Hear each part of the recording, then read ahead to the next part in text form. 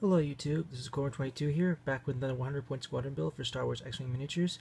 Tonight we focus back on the Imperial faction, and before I start I'd like to point out that this build exactly isn't my build, it's actually my roommate's that he constructed um, in order to counter some of the, um, the builds that I have. And um, the way I see it, he's constructed this build pretty damn well. Um, before this particular build, he made a prototype build that involved uh, two TIE bombers, which I believe were Captain Jonus and a Gamma Squadron. And after a little bit of tinkering, he found that the best ship, he found that a single TIE Defender was better suited for this particular build rather than two TIE Defenders. But you guys might have a different view on that, so yeah, if you guys have any ideas for that, let me know in the comments below. Um, but yeah, this this build here focuses on two ships this time: an Imperial shuttle piloted by Colonel Jendon, and a TIE Defender piloted by Rexler Brath. Um, I would say the purpose of this build is divide and conquer. Uh, the TIE Defender is going to be the one doing most of the fighting, while the shuttle, he's going to be kind of sitting back and um, he'll be supporting the TIE Bomber from a distance, but should the, TIE, should the um, Rexler get into a bind, the shuttle can definitely come along and provide some covering fire and allow for Rexler to escape and find a better um, better line of attack. So with that said, let's look at the uh, the builds we have, the, the upgrades we have for the ships. Now, for a two ship build, the upgrades on this are extensive. Like my room, uh, he's he's he's pretty much made he's pretty much um, stacked everything he could onto this build to maximize uh, each ship's effectiveness in battle. Um, and they get one of the good one of the great things about this build is that even um, even though this build is hev- even though these two ships are heavily maxed out with their upgrades, uh, there's still six more points left on the, um, the squadron count, squadron build count. Like these cost um the total squad point cost of this build is 94, which basically means that you will most uh, most likely get initiative um, in when you take this when you take this build to the field. So that said, let's focus on the first ship. The first ship we have is a TIE Defender, and it is piloted by Colonel Rexler Brath. He has a pilot skill of 8. He flies the Sienar Fleet System's TIE Defender. He has a very pretty balanced um, uh, stat card here. He's got an attack value of 3, a agility value of 3, a hull value of 3, and a shield value of 3. Uh, it's a pretty balanced card for a ship that was meant to counter the B-Wing. Um, he can take on the Focus, Lock On, and Barrel actions. He costs a whopping 37 squadron points to use able to take on the Elite Pilot Talent, a mounted gun upgrade, and a missile upgrade. And his ability states after you perform an attack that deals at least one damage card to the defender, you may spend a focus token to flip those cards face up. So, with Rexler Brath's ability, this makes it so that if you attack and you have at least one, uh, if you deal at least one attack that does hull damage, uh, you if you have any focus tokens assigned to Rexler, you can spend that token to to turn that hit into a critical hit, and then you have to resolve its effect. So that makes you know Rex. This basically makes Red Rexlar. He's he's going to be dealing a lot of yeah. He, he's he's the one we, he's going to be doing most of the attacking in this build.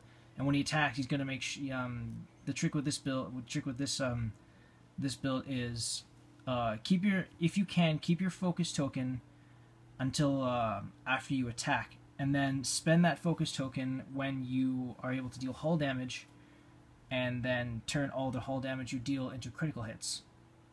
So that's enough about the ship. Let's move on to the hull, the um, upgrades you're giving him. For his first upgrade, his first upgrade is a modification hull upgrade.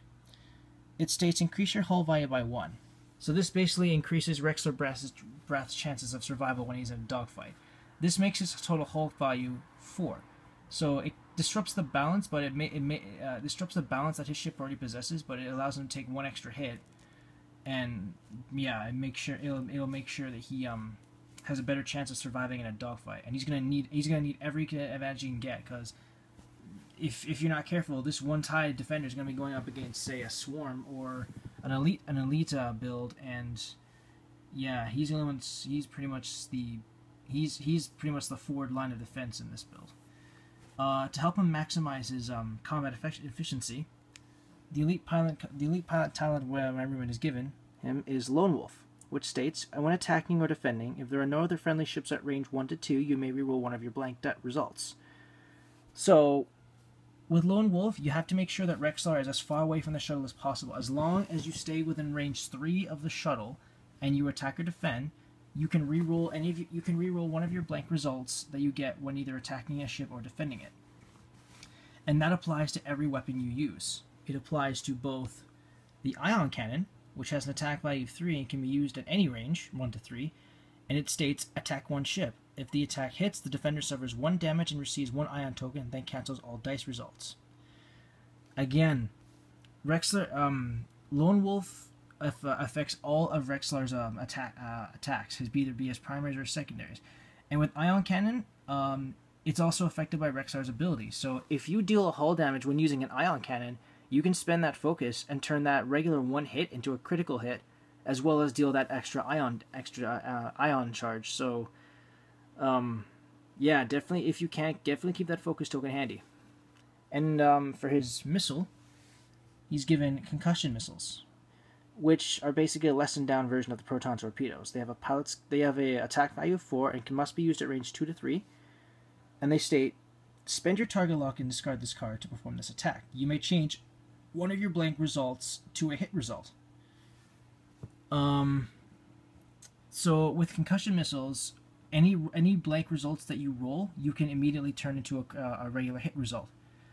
And combining that ability with Lone Wolf allows you to get uh, two rerolls. So basically, well, not so much a, re- a second reroll. Um, with a concussion missile, say your result is two hits and two blanks.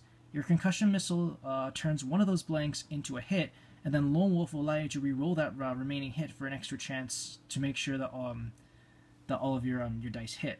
So yeah, that's um so Rexler Brath's advantage. Rexler Brath's um his job is to really go in there, um stay as far away from his partner as he can, attack with any and all of his weapons, and make make good event make good use of his lone wolf ability and his uh, standard ability, all while um uh, yeah.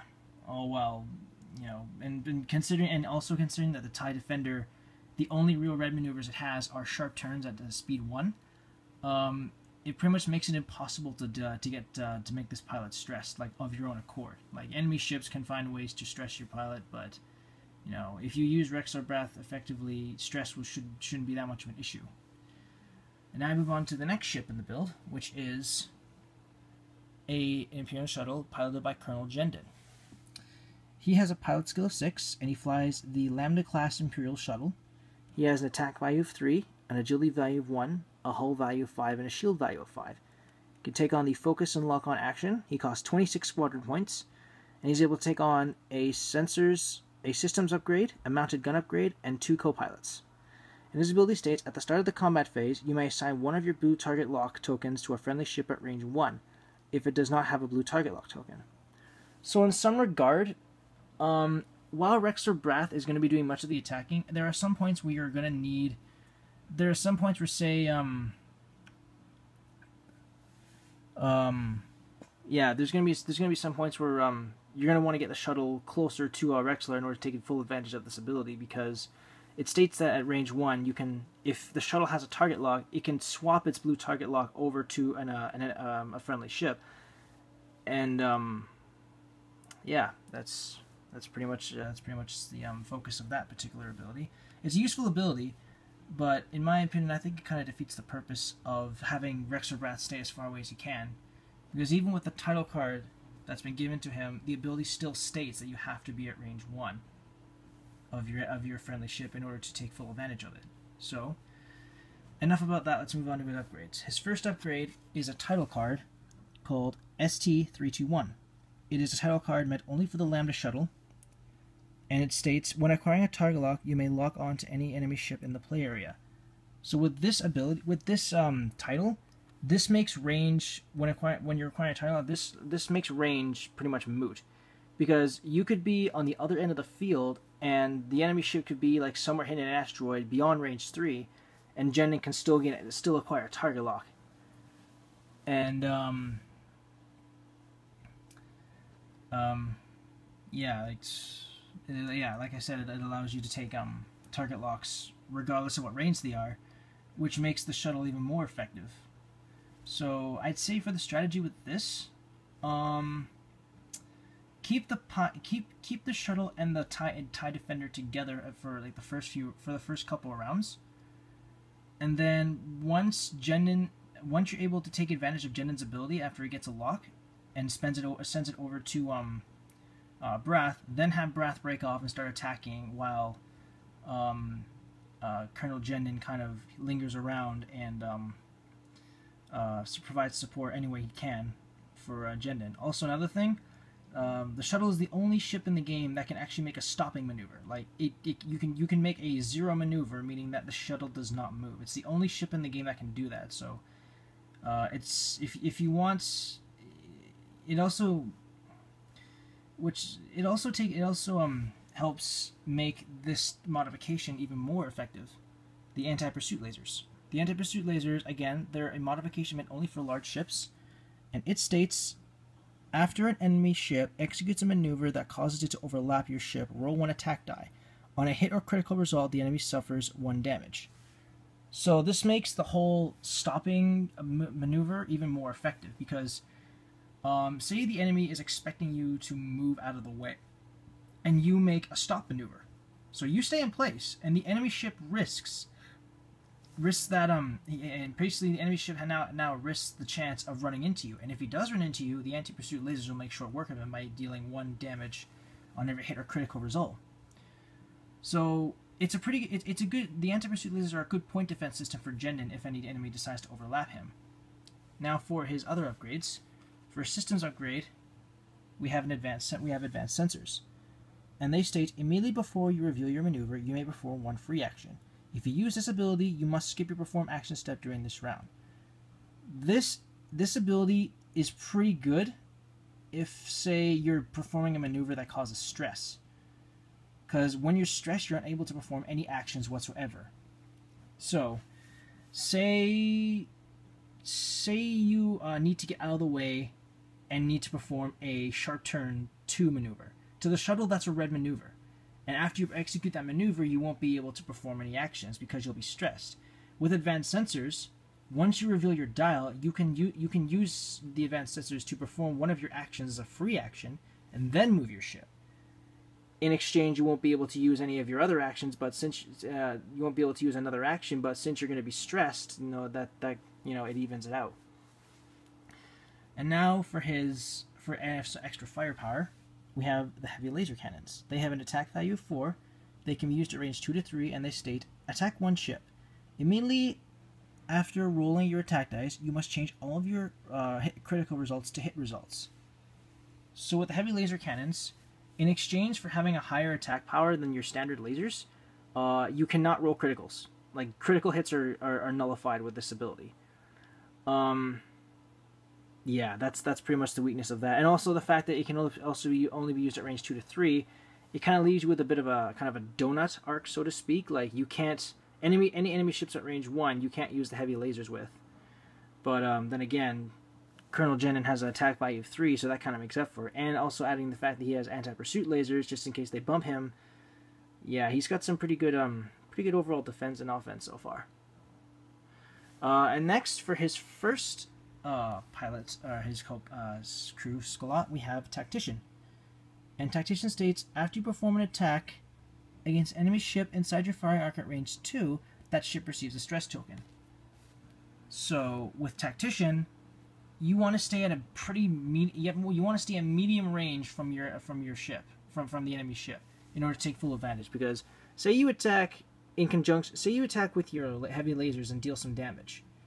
Um, with Tactician, regardless if that misses, that attack misses, as long as you're at range 2, which is the minimum range you can fire with the heavy lasers, that ship will receive a stress, which will hinder its ability to perform, to, um, it'll force it to form a, um, uh, a green maneuver, leaving it more vulnerable to, say, the shuttle or for Rexler, or it'll have to, um, perform regular maneuver and not be able to perform the actions in the next round.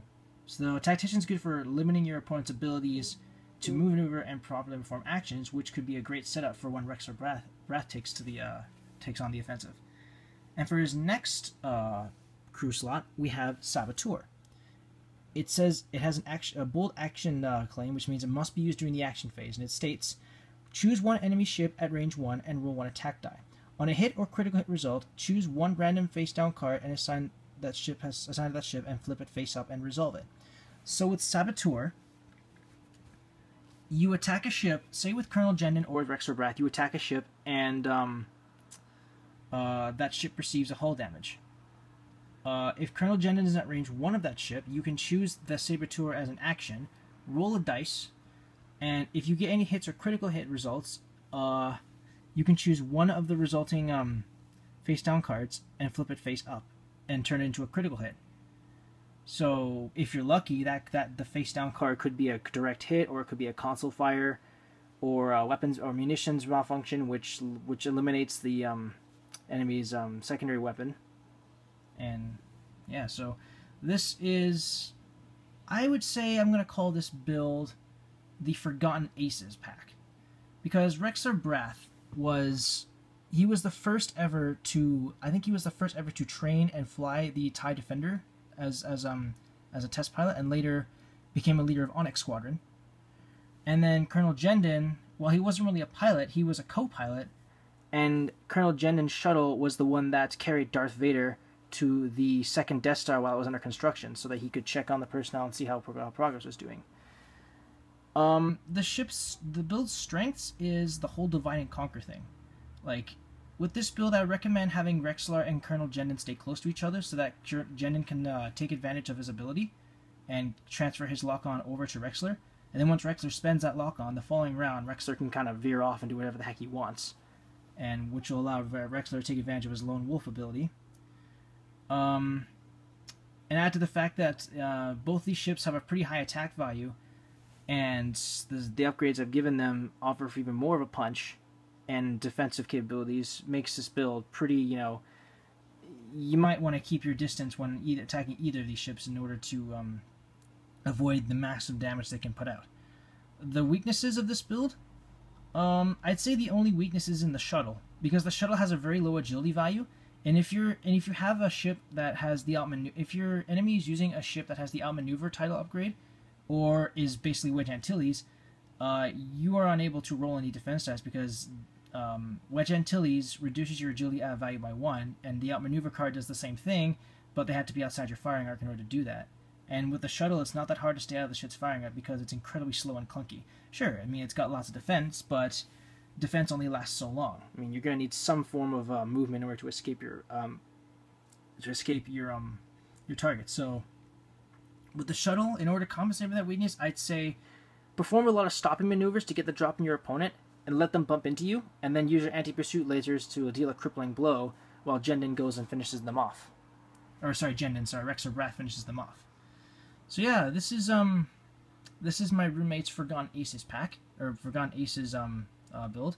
Uh, let me know what you guys think in the comments below. Any constructive criticism is greatly appreciated. If you like, you may use this build in competitive or casual play, or if you want, you can tweak it or completely revamp it to your own uh, specifications. Like I said, my roommate used uh, two TIE bombers prior to come up, coming up with this build.